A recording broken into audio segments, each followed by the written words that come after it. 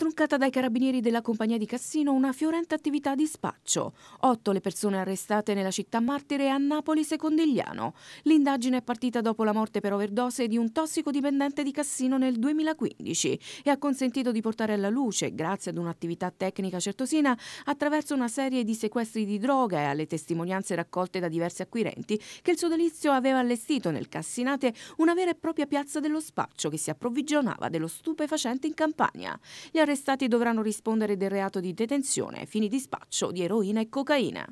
Eh, le ordinanze eh, sono state eseguite due a Secondigliano, Napoli, eh, dove c'era l'approvvigionamento del, della sostanza stupefacente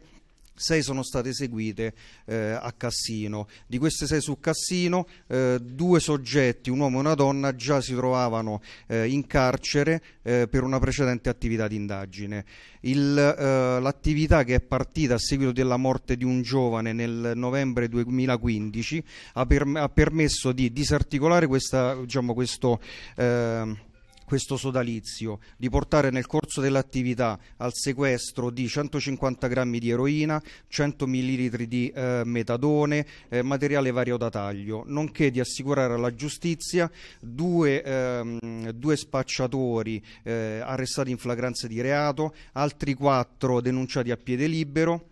e di permettere la segnalazione al prefetto di un, un certo numero di eh, assuntori di, sto, di, di sostanza stupefacente. Metodo classico di indagine, quindi, eh, quindi, utilizzo dei telefoni ambientali, eh, il, i soggetti che sono stati tratti in arresto utilizzavano per le comunicazioni un linguaggio criptico, utilizzavano Whatsapp, utilizzavano Facebook, eh, utilizzavano schede telefoniche intestate ad altri soggetti, è stato documentato che eh, qualche soggetto era anche extracomunitario che non siamo riusciti a identificare, ehm, potevano essere utilizzate anche più schede intestate alla stessa persona tra queste che sono state arrestate.